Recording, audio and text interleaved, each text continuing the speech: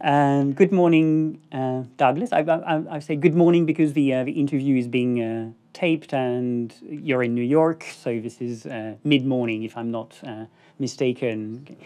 Um, That's correct. Good morning. Good morning. So let, let me uh, say how great an honor it is for us to welcome you for the uh, uh, with the Mollat bookstore in, in, in Bordeaux. Um, um, and uh, for those of you who haven't yet heard of your uh, 2020 uh, Booker Prize Award, and for the French readers who will soon be able to discover, in fact, the, uh, to read the translation of your award-winning book, uh, Shuggie Bain, um, maybe some quick words of introduction before we move on to um, questions, of course.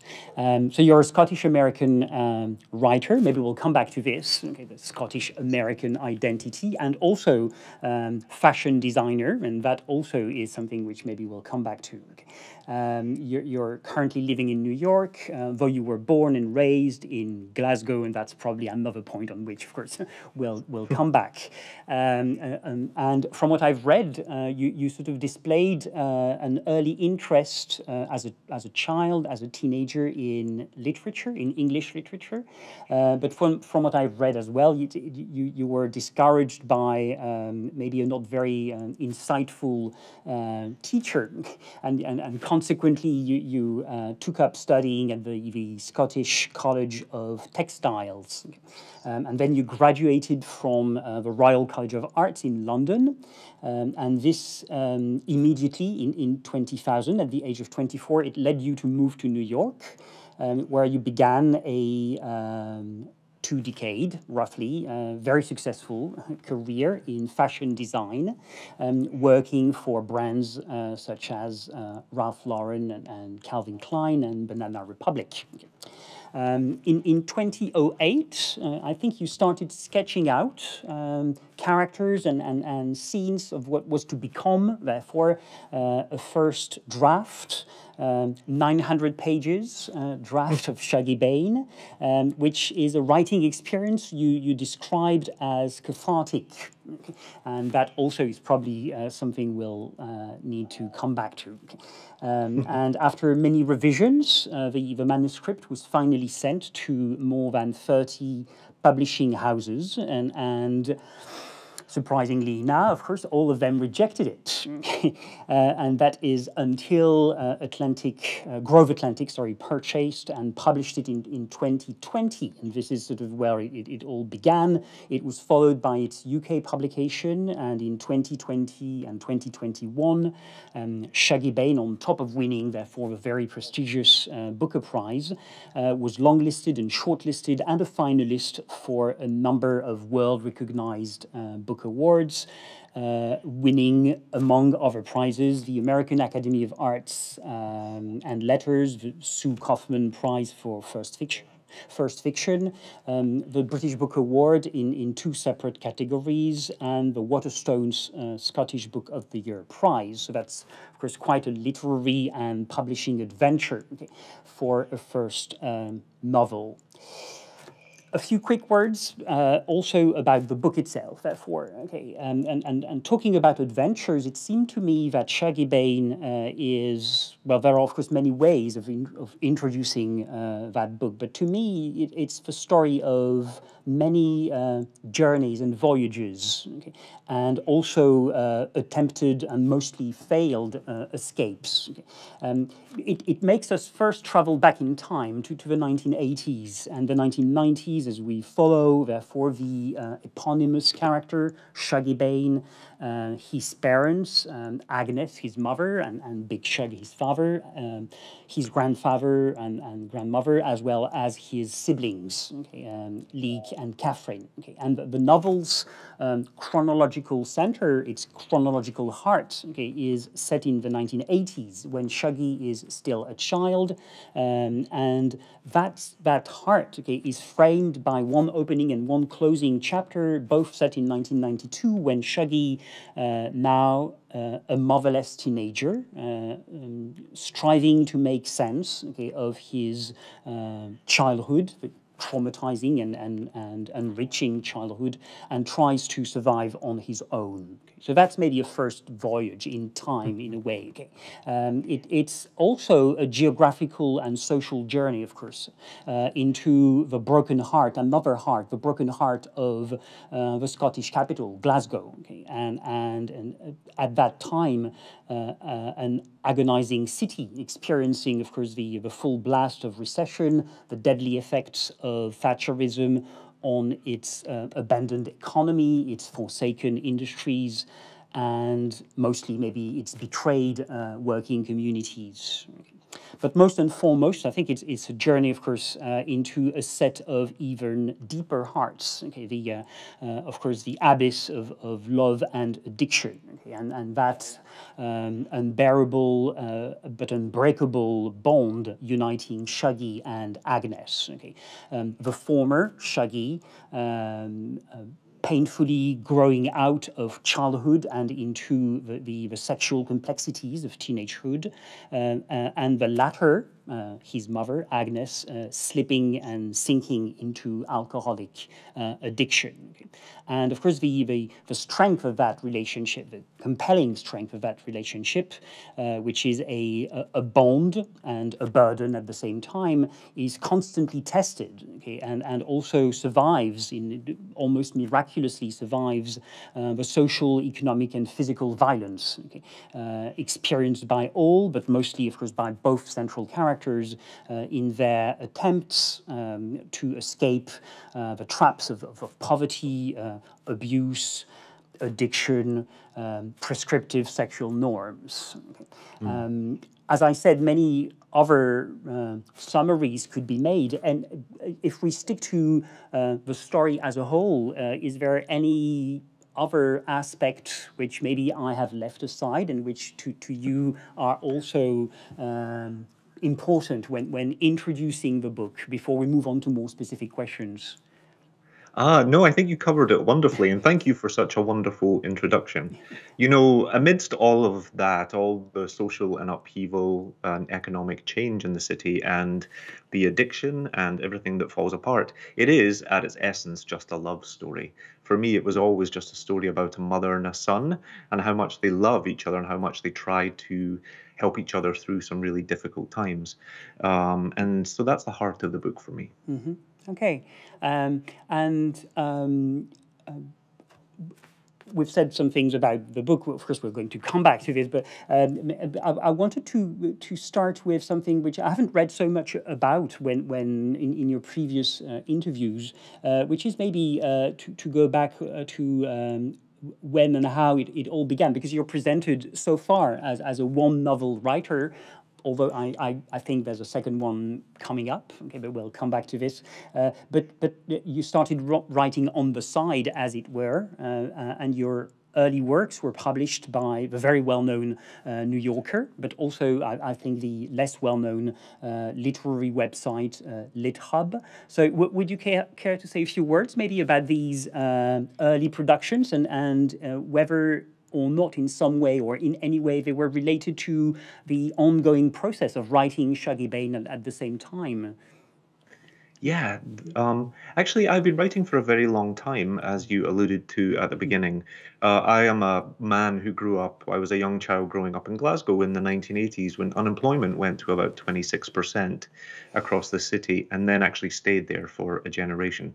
And coming from a very working class family, from a, a long line of uh, men who were laborers and who worked with their hands, I saw all the men around me be decimated and be sort of cast aside in a way without hope. And the Thatcher government knew it and uh, and did nothing about it. Uh, they really closed industry in the city in very rapid succession. But you'd said earlier about I was a young boy who was sort of encouraged away from English.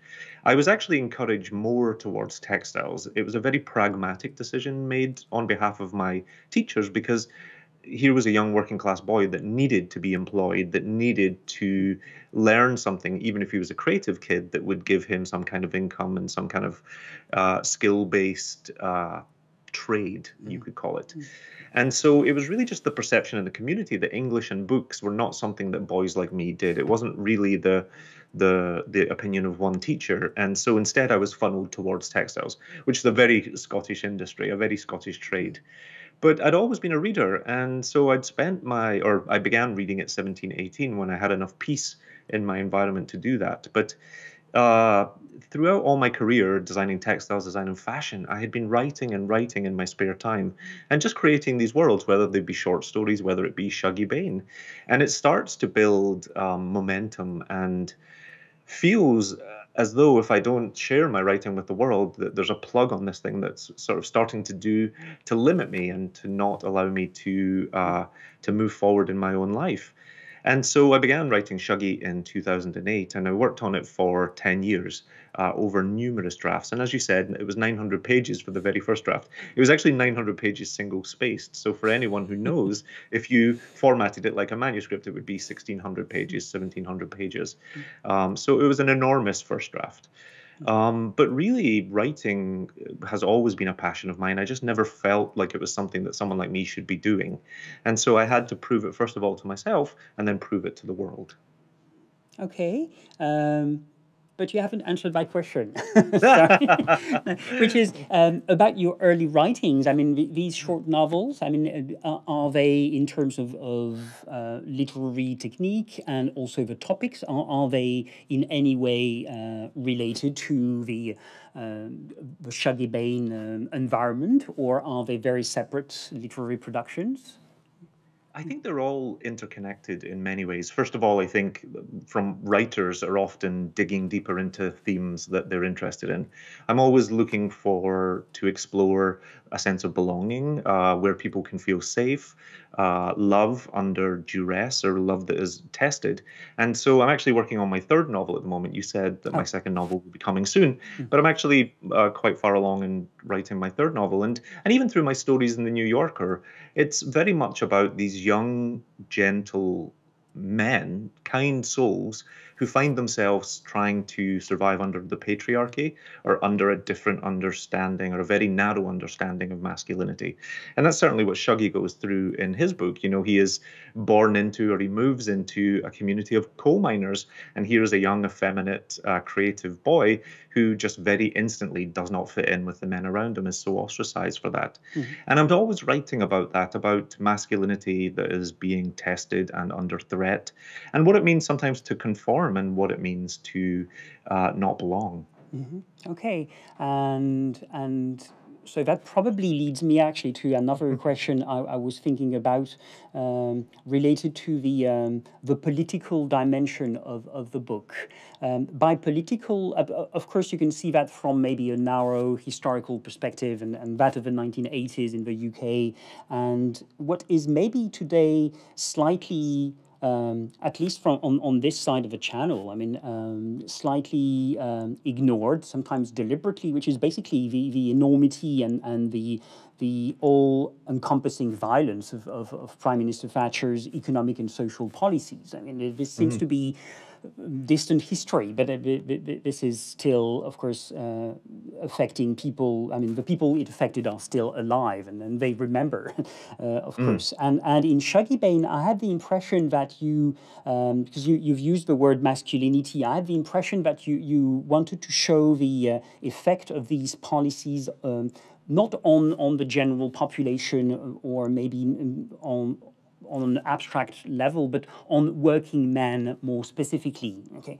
um, and and it seems to me that the these miners, of course, former miners and and uh, uh, shipbuilders, um, they uh, are, in, in Shuggie Bain, they are not just unemployed. Okay, um, their, their own masculinity, their own manliness has been um, questioned and, and eroded. Okay, and, and of course, Shuggie Bain's father is, is, has a job, he's a taxi driver. Mm -hmm. Okay, uh, but how far is, is this a crucial element of, of Shuggie's environment to you? The, these former strong men, uh, now idle, you say, uh, uh rotting on the uh, settee for want of decent work work. I'm, I'm quoting uh, mm-hmm. the book.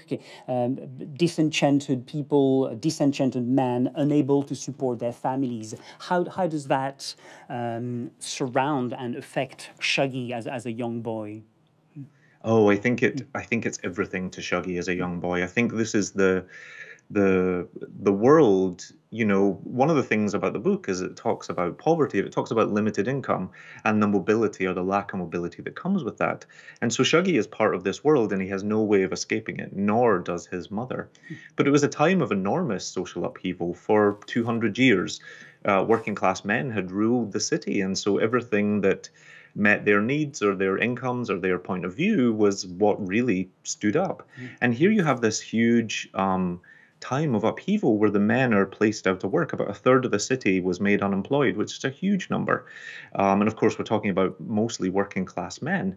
And so it was a it was a time of reimagining what the sexes meant, what marriage is. I mean, Agnes, who is the mother in the book, goes through uh, and the women around her are married to men because that is their social mobility. That is the way they bring income into the house. They they look to have homes and to raise children and to and to create the nicest, the best family that they possibly can. And suddenly, when what it means to be a man is entirely redefined, and and you cannot go out to work, you cannot do these heavy, dangerous jobs anymore. That thing that your father did, that you think your sons are going to do, no longer exists. Hmm. Then what does it mean to be a man? So it was an enormously emasculating moment for a lot of men in the mm. city, but it also entirely redefined what marriages meant and and suddenly what was possible for women. But you have a working class mother like Agnes that's caught absolutely in that crack there, that's caught in that one moment where she doesn't have the ability to pivot to independence or to taking charge. Uh, because of the thing that she has placed her faith in, which is to have a good marriage and to raise a good family and to have a nice house um, suddenly isn't going to be available to her. Mm-hmm. A lot of what happens in the book is about women who place their faith in men, who marry the first man they fall in love with. And Agnes marries very young to a, mm-hmm. a Catholic man who is the same faith of her. And that is meant to be how she gets through the world. But of course, she's bored. She doesn't love him. He doesn't stimulate her mind. He doesn't bring the glamour that she expects. And and yet this is her entire world. And so when that crumbles, um, then Agnes also begins to crumble. Mm-hmm, mm-hmm. And um, usually almost all the time when when uh, reviewers talk about Shuggie Bain, they of course insist on the mother-child uh, couple, in a way. Mm-hmm. Uh, is not a um, a fatherless child, okay? um, mm-hmm. and and um, and yet I, I, was I was wondering from a um, um, when you built up the uh, the whole plot, okay, uh, what what um, what role, what space did you think you would leave for uh, the father or the fathers, okay, or at, at, least uh, Big Shug, um, and also a sub question, which is the, this uh, Shug Shuggie, which of course uh, is what does it say um, according to you? Why, why did you choose this? Okay, the, the, these two names, which sort of sound so much uh, similar. Yeah. Um, you know, the names, first of all, talk about the influence of fathers on sons, mm. to name your sons after yourself. And so, actually, Shug and Shuggie are both the diminutive or the nicknames for Hugh. Mm. In Scotland, when a man is named Hugh, we call him Shug, or we call a, a small Hugh his son Shuggie. Okay. And so, the father and the son, and sort of echoing on in, in that way. But also, the point being is Shuggie is uh, breaks the promise of his father, mm. because Shug would expect to have an incredibly masculine and incredibly you know, Shug himself, the father, hmm. is quite a misogynistic man. He hmm. uses women to his own ends. He has sexual relationships with them that uh, really use them and and almost abuse them in a way. He's a very greedy, egotistical man, mm. and his son is an incredibly sensitive, feminine, uh, effeminate young man. And so that, in a way, to hmm. name your son that way and then have him be a disappointment is a huge disappointment mm. to to Big Shug. Mm. Uh, but the book is often about we you spoke about sort of working class narratives you know the working class are woefully underrepresented in literature mm-hmm. but shuggie stands in a literary tradition if we think about uh, the struggling man even in scottish literature we think about irvine welsh's books mm-hmm. james kelman agnes owens alasdair gray but often in these novels, you know, it's men who are centered at the heart of it. And what I actually wanted to do, although we've spoken a lot about men today, um, and certainly it was a time of upheaval for men, I wanted to look at women. Um, this is a story about a mother, and it's a story about a young queer boy. And I had found them really woefully underrepresented in working class literature. And part of that comes from my own experience. You know, I grew up as the son of a single mother in Glasgow. Uh, my father abandoned us when I was incredibly young. And, and so, although it was an incredibly masculine city, I understood everything about it to be feminine. And it was the strength of women, it was the love of women, it was the camaraderie of women, the resiliency, the innovations, uh, the way that they sort of tried to hold their families together. That was the backdrop I grew up against. And yet I never saw that represented in literature. Mm-hmm. Um, and I certainly never saw a queer voice in that. You know, you don't see that in hyper masculine places. I think about Édouard Louis and, and really what he has done uh, for French literature recently. Mm-hmm. Um, and so that's why I wanted to put Shuggie and Agnes at the center of this story and to and to look at masculinity. Sure, that's the backdrop almost, but it's really about femininity at the heart of it. Mm-hmm, mm-hmm. Yes, and and um, also about the, um, the the more political dimension. Of, of course, uh, sexuality is politics. Uh, so uh, uh, uh, I, I, was wondering how far. Um, staging these uh, unemployed men and, and the uh, uh, the city of Glasgow being hit by, by, by recession, how far the, the book uh, could be seen uh, as also a form of, of political uh, militancy. Maybe the word is a, is a bit strong, but um, what made me think of this is that, that you once, I think, um, talked about the, uh, the, the, the, the, thin line between uh, a form of miserabilism.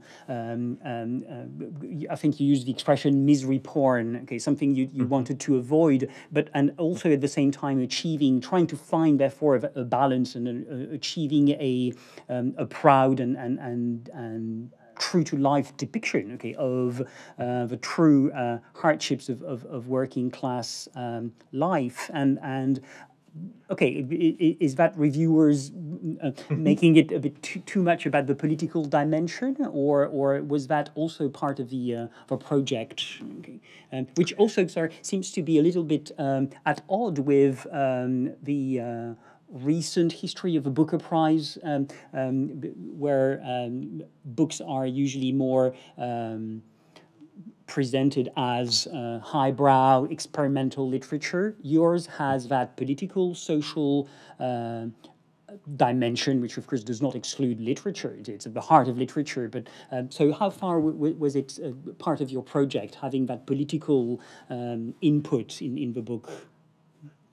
Yeah, it, the the politics are important in the book, but the politics are incredibly personal. They most of them take place and affect the body. And so it's the body of a mother and the body of a young boy. And what I mean by the personal is is it's not a book that occupies itself with strike lines or with the unemployment office or with mm. uh, these huge rants about the government. It's about imagining this almost in the distance. This is what's happening in the background. And now here's the war that happens over this woman's body or over this son's love for his mother. Mm. You know, I never set out to write a political book, and this is the real truth of it. But because it was a personal project, because I never knew if it would ever be published, and in mm. fact, for many years, it looked like it would never be published. Um, I also didn't need it to be published. And so I didn't have any need to set out and write a polemic or to write something that changed people's minds. All I was in service to was the characters at the heart of it, to Agnes and Shuggie and to their love for each other. Mm. Because as the city of Glasgow is disintegrating, and we it went through an incredibly difficult time. It's a very proud, defiant, compassionate city. Um, but in the 70s and 80s, it went through this huge reorganization, not only from an employment point of view, but also uh, from an actual housing point of view. Many of the families were moved to uh, from the heart of the city out to neighborhoods on the mm. periphery uh, in these things that we would now know as sink estates. And I know France has also had similar policies in this way. Mm-hmm. Um, but it was also a t- total time of upheaval for families and for men and for women. Mm-hmm. And, you know, it was at the, almost the last moment of real misogyny, sectarianism, real true homophobia um, and all of these things that now we look back on with a 2020 lens and we think, wow, was that really like that? And the truth is, is it was really like that because it was a dying of the patriarchy, or it was one of the last moments that they were truly, truly in power. Mm-hmm. Um, but that's the personal, or that's the political backdrop. The personal of it is is what happens to this mother and this son who are living under it. And I don't want that to make it sound like it's a very sad book because although there is much sadness and there is violence in it, it's actually an incredibly funny book. Um, because what I was trying to do was to capture the com, you know, the how complicated life is, and and to show these very um, jarring things in juxtaposition with each other. When you have violence, you have tenderness, you have mm. such profound love, and then when you have sadness, you have humor because actually that is the Glaswegian spirit. We know how to sort of laugh our way through or how to use humor to cope with some dire situations. Mm-hmm. Yes, but there's among other scenes that that very funny scene uh, with Agnes and he, her, her friends uh, trying bras. Um, and and and but it, it's it's it's a very um, efficient mix of um, humor um, and, and and also a form of, of very uh, uh, deep um, nostalgia, okay, sort of reminiscing mm-hmm. what they, they were looking like when they were younger, and and, and so um, mm-hmm. yes, I, I agree with you, but maybe I'm, I'm yeah well i would just i would just say that scene for me actually is incredibly important. It's one of the first scenes in the book. And and first of all it's agnes having a friday night party with all of her childhood friends. And they're in a high rise flat in the center of the city. And they're joking about men and their marriages and their love lives. But agnes buys them all bras at a at a market hmm. stall. And so the women try on these bras and they're and they're marveling at their new physiques. These are shape forming bras hmm. But it was one of the scenes in the book I wanted to start there because it's a moment of absolute sorority where women are free from the gaze of men or from the needs of sons or from the expectations of society. And it's just these really, you know, fun, funny, resilient women having a great time on a Friday night before before their world changes. Mm. But that was also the spirit of the city for me. That was also the the you know showing that uh, solidarity between women because Agnes, as she begins to sink into her addiction, loses that solidarity. She becomes incredibly isolated. And so I wanted to show how she was thick with friends. She was surrounded by love at the beginning of the book, and that starts to ebb away for her. Mm-hmm, mm-hmm. Yes, um, and and of course one um, parallel maybe with the uh, the disintegration of the city itself is the uh, um, the disintegration of, of Agnes. I mean, of course, uh, um, so so um, maybe to get back to uh, less um, humorous aspects. I mean, um, a few words about um, addiction. And and and mm. um, this is what I would like maybe to uh, to ask. Um, in in in previous interviews uh, you, you you've already said quite a lot I think about your own experience okay as as the child of uh, an alcoholic mother who, who died of that addiction when you were 16 and of course the reader's experience um, the, the, the confrontation with the effects of of uh, addiction the mixture, which is quite uh, destabilizing, the mixture of moments of, of complete despair, of, of physical and mental decomposition, but also, as you said, flashes of, of hope and laughter and, and, and light. Um, the, the, of course, the portrait of that uh, extremely uh, lovable woman um, mm. um, who is lost, of course, in, in the, the memories, or the, the drunken memories of her youth all this probably is, is, is a far cry from the actual exposure okay, to the real effects of alcoholism on oneself or on, on one's beloved. So to put it maybe a bit a bit bluntly, but uh, uh, how far did you think that addiction, um, as as as a mechanism in a way, um, could be turned into a literary material? I mean, how far does addiction uh, act as a form of fuel? It it sort of um, it, it makes the story grow and and and and the book develop. So it's not just the topic of addiction, but it also I think has a literary quality in in in the book. Yeah, and thank you. Definitely, addiction is a journey that the characters go on, and not just Agnes, but but the people who love her the most, uh, and even the people who don't love Agnes. Agnes has some foes in the book, but they are all taken through uh, this mother's journey through addiction. But you spoke a little bit earlier, and I wanted to say that when we spoke about the sorority that Agnes has at the beginning and all the fun and the friendship and the togetherness that happens at the beginning of the book, which is absent by the end of the book, mm. um, I, you know, what I wanted to show with Agnes is that she's an incredibly complex woman. She, before she's an addict, before she uh, suffers from alcoholism, um, she is funny, she is fierce, she is determined, she's resilient, she's beautiful, she's gregarious. Mm. She's all of these things. And even through um, her addiction, she remains all of those things. I think oftentimes when people write about addiction, addiction becomes almost the personality or the hmm. central point of the character.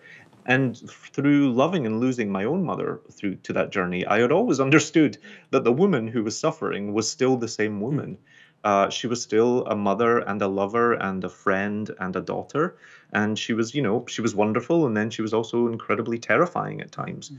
and so i wanted agnes to be as complex as that. I wanted to paint a portrait of a woman who was suffering with alcoholism. And by the way scotland is a very hard drinking country. There were lots of people around agnes who were also suffering. This is not a thing she goes through herself mm-hmm. uh, i think perhaps if it had been a middle class narrative this would have been a portrait of a woman who is slipping out of society but actually society keeps pace with agnes mm. and there are many friends yeah. around her. There's mm. a real chorus of characters mm. who go through it. Mm. But the addiction, I think, is a condition that Agnes goes through. It's not her her reason for being as a character, because actually Agnes's reason for being as a character is she wants to love. She wants to be loved. Uh, she is spurned very early on in the book by her husband, who deals her the most devastating betrayal. Um, and and that really sort of spirals Agnes in many ways. But then many other things come into her life. You know, she she'd always expected to be an incredibly glamorous woman who who'd achieved so much in life. And when that seems to not going to be happening for her, that's when she begins to descend. Mm-hmm. Um, and so addiction definitely is a journey within the book. But but throughout that journey, there is the constancy of a woman in crisis and a very complicated, uh, contradictory woman. Mm-hmm. Yes um, uh, yeah, I mean, she sort of truly is. I mean, she exists beyond the the uh, the, the, moments of, of addiction or or uh, the uh, the trauma caused by by addiction. Yes, certainly. Um, um, something about her voice as well, about Agnes's voice. Of course, uh, the reason why I mentioned at the, the at the beginning that um, the book is set in the 1990s, 80s, and 90s, okay, is that of course um, in the opening and closing chapters, um, Agnes is no longer present, okay, and her voice is no longer heard, of course, and and and mm-hmm. Um, because her voice is so much heard in, in between. Um, mm-hmm to me as a reader, uh, it, it the absence of Agnes's voice was, um, especially in the in the final chapter, was extremely striking. Okay, there's something missing, and that sound is, is no longer heard.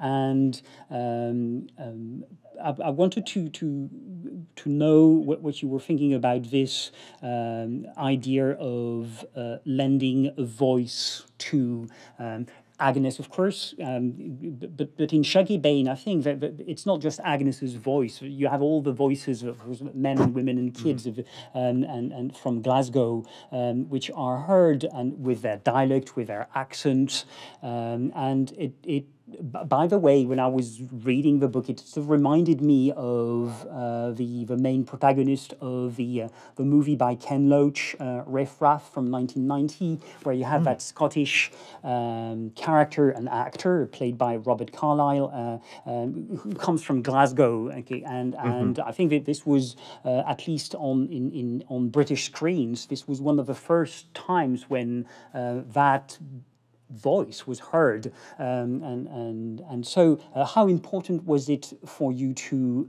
therefore, literally give a voice to uh, these people and, and to make them sound like more like simply characters on paper?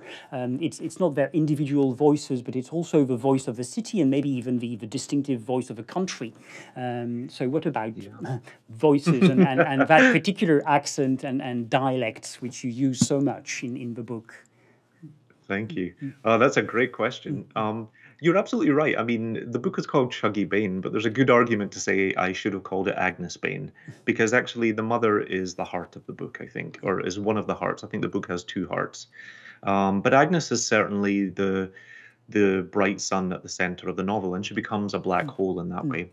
And I'd wanted to set the book up almost like a play, like a tragedy. And that's why at the beginning of the book, it's Shuggie's voice alone, almost like He's explaining to you what is going to come, what's going to follow. Mm. And then at the end of the book, it's Shuggie's voice alone, where he explains what just happened and how people are feeling about it. Mm. And then throughout the book, um, we spoke about a journey a little bit earlier, but it's almost like a play because it takes place in four different neighborhoods. Mm-hmm. And yet, mm. in these four different neighborhoods, Agnes and Shuggie cannot leave the stage. They cannot go beyond these streets that they are on because we're talking about people with limited income. And so there's a mobility issue. And so they're almost trapped on the stage in that way, where the backdrop of Glasgow keeps changing around them, from the hope of the high rises to the desolation of the mining town to a return to the bosom of the city with the bright lights and, and all of uh, society around them. And yet, at that entire time, there is a chorus of characters who keep coming in and commenting on Agnes and Shuggie or showing us something about them. And, and so when I was writing the book, I thought very much about Greek tragedies and I thought about uh, how that's almost set up as a play in that way. But I was also spent a lot of time thinking about the solidarity or the cliche of solidarity that comes with choruses, that comes with working class narratives. It's almost expected that when we look at working class communities, that everybody gets in and gets together and holds each other together. And and there certainly is solidarity in communities. But if you are outside of what is acceptable or outside of the norm, as Agnes is with her single parenthood, as Shuggie is with his effeminacy, then the solidarity can be used to exclude you. You can be pushed out of those societies. And so, in a way, that's the chorus and the solidarity coming in again. Mm-hmm. But I wrote the book in service entirely to the characters. And so, for me, the characters' tongue and how everybody speaks the dialect of Glasgow was incredibly important. Um, I think that was one of the things that makes the book sing, to be honest. I think it's one of the things that's most unexpected about the book. But uh, it was just such a joy to write, to hear some broad Scots used within the prose, to also use some of the dialect in the dialogue. But even within the book, um, how people speak with a very thick Scottish accent becomes uh, a clue to their characterizations because Agnes entirely rejects a broad Scots language. Here is a woman who is identical to all of her neighbours, to all of the people growing up in these housing schemes, and yet she speaks almost with a newscaster's accent because she is projecting this very thin veneer of pride, where she's, uh, I don't know, in France, if you have very regional accents and then people reject them to want to sound Parisian or to sound uh, of a better social class than they are. But Agnes falls into this trap and she infects all of her children with it. Mm. And that leads to their isolation because they're living within a working class community and yet they speak the, the most perfect Queen's English. Um, and, and that's really a comment on pride and on shame and on hopes and aspirations. She's hoping that if she speaks better than she actually is, that she can build a better future for mm. herself and her children. Mm-hmm, mm-hmm.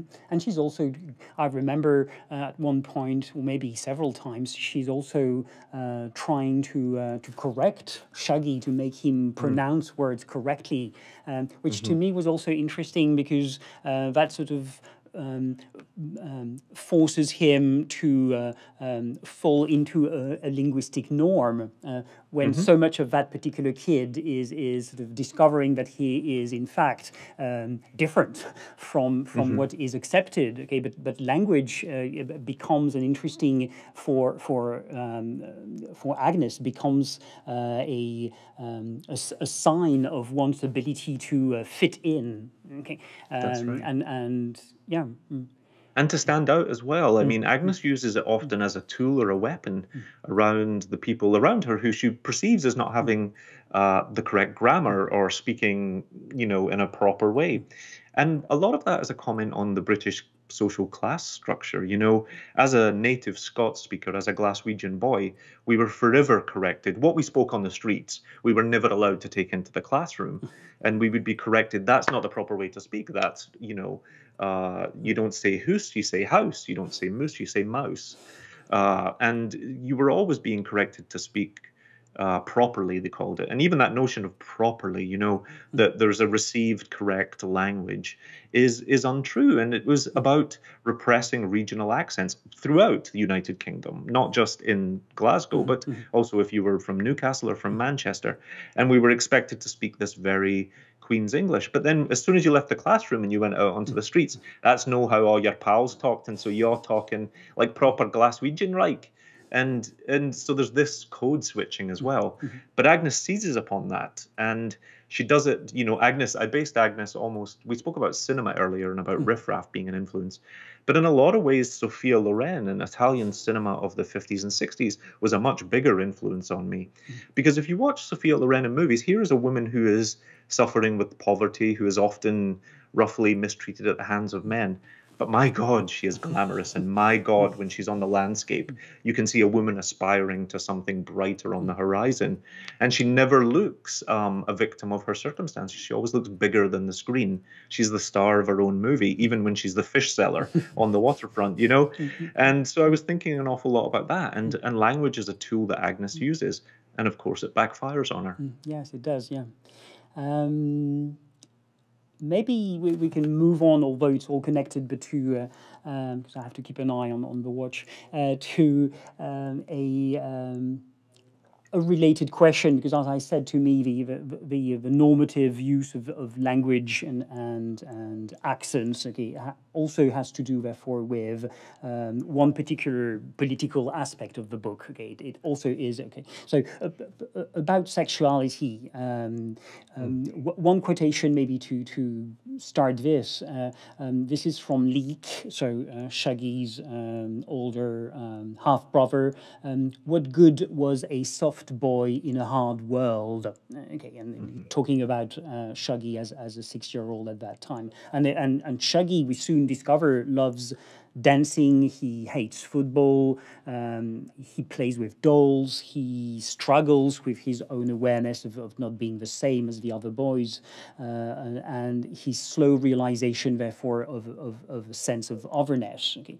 And mm-hmm. I, I was struck by the parallel which I think exists between Agnes's own uh, um, self-destructive pattern, okay, um, which is paralleled or maybe compensated by Shuggie's quest for and construction of, of, of se self-identity and sexual self-identity. Mm. And here again, I'm, I'm, I'm interested in uh, the, the, the, literary dimension of the stages of that sexual quest, um, maybe mm -hmm. beyond the, the, the uh, autobiographical elements, but um, um it, it clearly uh, Shuggie's recognition of his sexual singularity. It was not another challenge which you, you sort of uh, uh, threw up on top of social segregation and economic hardships and, and, and addiction. So uh, how is, is this related to the novel as a whole? The fact that Shuggie, um, I'm quoting the book again, um, knew he would never feel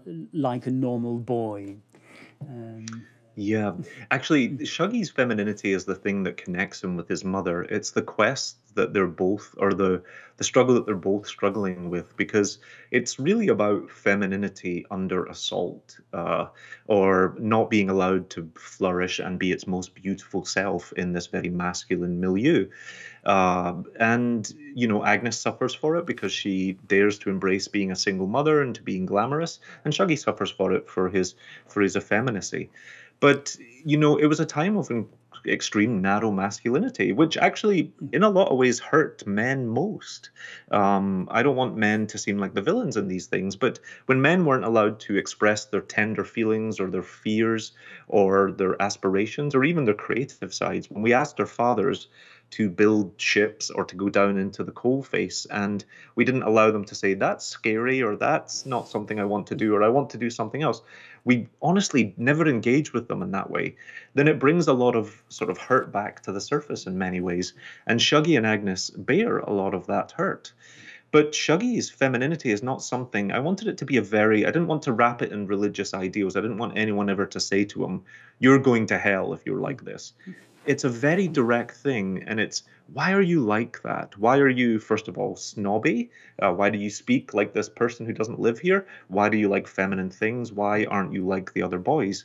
And I wanted to show the frequencies of that homophobia because some of it's very subtle. It's it's all some of it's microaggressions, and some of it's noted within his family. People who love Shuggie, who would give their lives for Shuggie, including his grandmother and his older brother, notice that he has a feminine soul or that he's too effeminate, mm. and they try to like correct this within him. And so Shuggie actually spends a lot of the book believing that the thing that people don't like about him the th- like his very being mm. is something that he can correct mm-hmm. that he hmm. can take steps towards to becoming more masculine, to be having an interest in things he's not interested in. He spends a lot of his free time trying to walk like a normal boy, or to swish a little bit less, or to make more room for his penis, or to walk like his older brother. He spends a lot of time reading historical football scores, hmm. um, almost like they're a rosary. You know, he goes over these scores from matches in the 60s and the 70s that are entirely useless to memorize, but he feels like if he can absorb them, that will bring him somewhere yeah. closer to yeah. heterosexuality. And that's because for the first half of the book, he believes that the problem is his. Everyone makes him believe, ooh, it's a, just a very dismissive thing. They're like, you're no right. What, ooh, hmm. why are you like that? You know, it's not wrapped in any higher ideal. Hmm. And in many ways, you were right when you said the book is about the end of Agnes and the beginning of Shuggie, or the destruction of a mother and the construction of a son. Hmm. And so Shuggie's journey throughout the book is about constructing himself. And by the end of the book, he suddenly has that glimpse of who he truly is. He suddenly has a friend who sees all of him and accepts him and loves him. And he suddenly is coming to terms with his sexuality. Mm-hmm, mm-hmm. And, and, and he s- seems to find um, you're going to understand why I'm using that word, but he seems to find a sort of balance. Um, mm. And, and um, I think we have to conclude, but I, I, I was uh, glad to know that uh, the French edition uh, is going to use the same uh, book cover picture as the uh, Picador. Okay, the, uh, so I'm showing it on, on the screen and it should be visible, um, which was once again evocative to me because there's something very, uh, as you said, very uh, cinematographic about your book. So it also mm-hmm. reminded me, to some extent, although this is a black and white picture, but of uh, Billy Elliot to me, mm-hmm. the, the, the, sort of, of um, trying to to um, rise from the ground. I mean, to stand above, and and and although this is also a form of gallows or um, crucifix, mm-hmm. I think the title of the, of the book is is cru- of the picture is crucified in Easterhouse, Glasgow, Scotland, by, by Jez Coulson. So mm-hmm. uh, this is a form of crucifixion, but it's also a, a, a form of, of, of, childhood as a moment when when um, you look at, at, at your dreams. Okay? You try to mm. uh, uh, to defy gravity, and it seems to me that that Shuggy eventually achieves that uh, at, at a very high cost, of course, um, losing his mother in, in, in the process, as, as it were. Um, so I think we, we're getting to the end of it, uh, Douglas. Um, so, so once again, I, I, would like to thank you very much on, on behalf of the uh, Mollat Bookstore in Bordeaux uh, for the opportunity we've had to talk about uh, your your very memorable book, Shuggie Bain. Um, it, it's it's truly a, uh, a unique reading experience, and, and we're very lucky to um, be able to uh, read the French translation, therefore, by, by Charles Bonnot, um, uh, the French edition Globe, uh, which will be available in August to, to French uh, readers. Um, so, thank you very much again. Um, thank you. Uh, it, it was a great time. I wish we had more time to to spend. So have have a nice day in in New York, and of course we're all looking forward to uh, hearing about the uh, second and third novel. So so you will no longer be referred to as a, as a one book offer, but the, the, this is uh, this is uh, more to come. So thank you very much. Okay. Thank you so much, and thank you to Mollat for hosting us today. I can't wait to meet you all in person in France, hopefully this autumn. Yes. Uh, would be wonderful. That would be great. Thanks a lot. Goodbye. Thank you. Mm. Bye bye. Thank you.